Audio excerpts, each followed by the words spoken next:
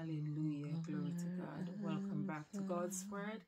My name is Ann Marie, and I'm here to bring you a word from the Lord. Hallelujah.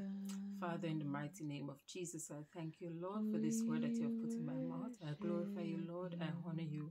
All the glory be unto you in Jesus' mighty name. Glory to God. So the Lord is asking someone today whose approval do you seek? You seek the approval of man or you seek the approval of God? Hallelujah. Glory to God.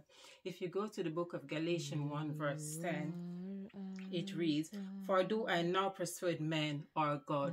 Do you persuade men or you persuade God? Hallelujah.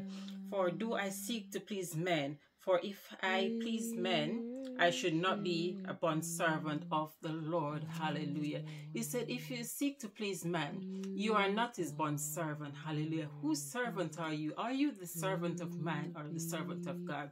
My people, it's time to stop aiming to please man and please the one who is the author and the finisher of your soul. Look unto God, who is the one that can supply all your needs. He didn't say, I will supply some of your needs. He said, I will supply all your needs according to his riches in glory.